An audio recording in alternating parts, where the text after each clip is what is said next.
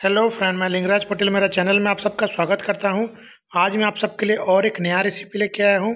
आज हम बनाएँगे सबका फेवरेट क्रिस्पी कॉर्न चाट तो फिर चलिए दोस्तों, ये रेसिपी को बनाना स्टार्ट करते हैं।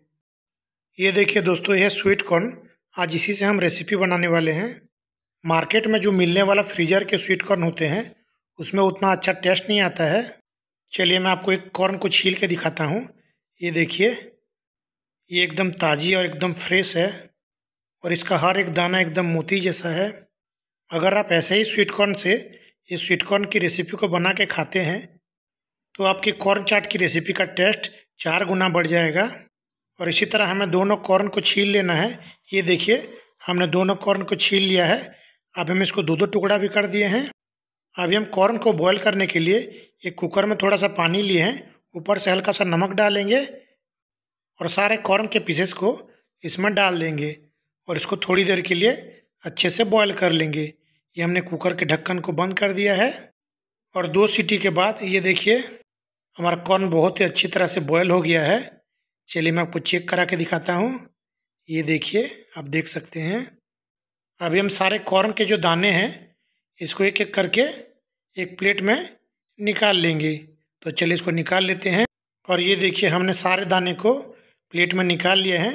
चलिए मैं आपको एक पीस चेक करा के दिखाता हूँ। ये देखिए, ये बहुत ही अच्छी तरह से बॉयल हुआ है।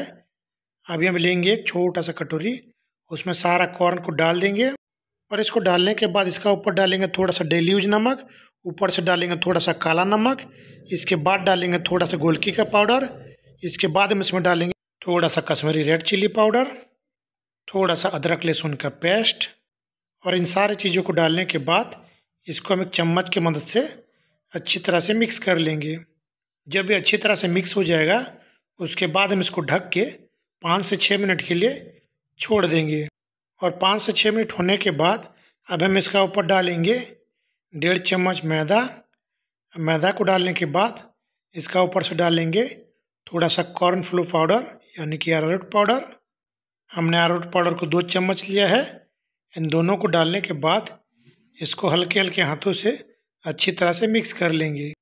जब ये अच्छी तरह से मिक्स हो जाएगा, इसके बाद में इसका ऊपर और थोड़ा सा कॉर्नफ्लोर डालेंगे। ये देखिए, अभी मिक्स हो गया है।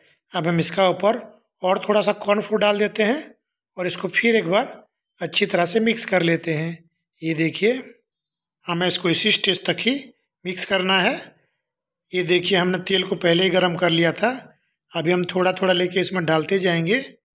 और इसको अच्छी तरह से फ्राई कर लेंगे। अब जब भी इसको तेल में डालते हैं, दो से तीन मिनट बाद जब भी अच्छी तरह से थोड़ा सेट हो जाता है, उसके बाद इसको हाथ लगाएँ और इसको फ्राई करते टाइम गैस एकदम हाई होना चाहिए। ये पाँच से छः मिनट के बाद अच्छी तरह से फ्राई हो जाता है। ये देखिए, ये अब अच्छी तरह से फ्राई हो गया है। अब हम इसको छान के एक प्लेट में निकाल लेंगे। ये देखिए, हमारा फ़र्स्ट वेज बन के रेडी हो गया है। अभी हम बाकी बच्चा को भी तेल में से छान के निकाल लेंगे। अभी हम सेम प्रोसीजर में हमारा दूसरा बैच को भी फ्राई कर लेंगे। दोस्तों, आज मैं जिस तरीके से रेसिपी को आपको बना के दिखा रहा हूँ, मेरे बताए हुए तरीके से आप इसको एक बार घर में बना के ज़रूर ट्राई कीजिएगा। आपको ये बहुत पसंद आएगा। और ये देखिए दोस्तों, हमारा सेकंड बैच भी अच्छी तरह से फ्राई हो गया है। अब हम इसको भी छान के निकाल लेंगे। ये देखिए, इसको भी हमने प्लेट में निकाल लिया है। इसी तरह हमें थोड़ा थोड़ा करके सारे कॉर्न को फ्राई कर लेना है। और ये हमने सारे को फ्राई कर लिया है। अभी हम उसी कढ़ाई का तेल में थोड़ा सा बिना छिला हुआ लहसुन का कलिया को फ्राई कर लेंगे। ऊपर से दो मिर्ची भी फ्राई कर लेंगे। लहसुन और मिर्ची को फ्राई करके इसको कॉर्न में मिक्स करके इसको बना के खाने से ये बहुत ही ज़्यादा टेस्टी लगता है। ये देखिए, अभी अच्छी तरह से फ्राई हो गया है। अभी हम इसको निकाल के कॉर्न के ऊपर डाल देंगे। कॉर्न में डालने के लिए हमने लिया है दो प्याज, इसको छोटा छोटा करके काट लिया है। साथ में लिया है थोड़ा सा अदरक, इसको भी काट लिया है। साथ में लिया एक नींबू का टुकड़ा थोड़ा सा धनिया पत्ता और छोटा सा शिमला मिर्च इसको भी काट लिया है। ये देखिए, अभी हम लेंगे कढ़ाई। और कढ़ाई में प्याज को डाल देंगे और ऊपर से डालेंगे शिमला मिर्ची। तो चलिए शिमला मिर्ची को भी डाल देते हैं। इसके बाद हम इसका ऊपर अदरक को भी डाल देते हैं और इसको अच्छी तरह से फ्राई कर लेते हैं। दोस्तों, हमें इसको बिना तेल के फ्राई करना है, क्योंकि हमें प्याज और शिमला का बस मॉइस्चर को ही ख़त्म करना है। क्योंकि अगर फ्राई करते टाइम एक कढ़ाई में चिपकता है तो आप हल्का सा तेल डाल सकते हैं। ये देखिए, अभी अच्छी तरह से फ्राई हो गया है सारा मॉइस्चर भी ख़त्म हो गया है। अब हम इसका ऊपर सारा फ्राई किया कॉर्न को डाल देंगे, और ऊपर से डालेंगे थोड़ा सा गोलकी का पाउडर इसके बाद डालेंगे थोड़ा सा काला नमक, ऊपर से डालेंगे एक चम्मच चाट मसाला पाउडर और इन सारे चीज़ों को डालने के बाद इन सबको अच्छी तरह से मिक्स कर लेंगे।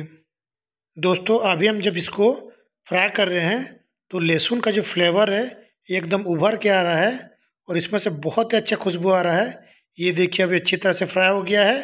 अब हम इसका ऊपर थोड़ा सा धनिया पत्ता डाल देते हैं और ऊपर से डालेंगे एक आधा नींबू का टुकड़ा, ये देखिए, हम सारा रस को इसमें निचोड़ देंगे। इसको निचोड़ने के बाद इसको फिर एक बार अच्छी तरह से मिक्स कर लेंगे। और ये देखिए दोस्तों, हमारा फ्राई कॉर्न चाट बन के रेडी हो गया है। चलिए अब हम इसको गर्मा गर्म प्लेट में सर्व करते हैं। दोस्तों, ये कॉर्न चाट सबका फेवरेट होता है और ये बहुत हेल्दी भी होता है। इसीलिए आप इसको अपना डेली रूटीन में ज़रूर शामिल करिएगा। दोस्तों, आज का ये मेरा कॉर्न चाट का रेसिपी आपको कैसा लगा, मुझे कमेंट करके ज़रूर बताइएगा।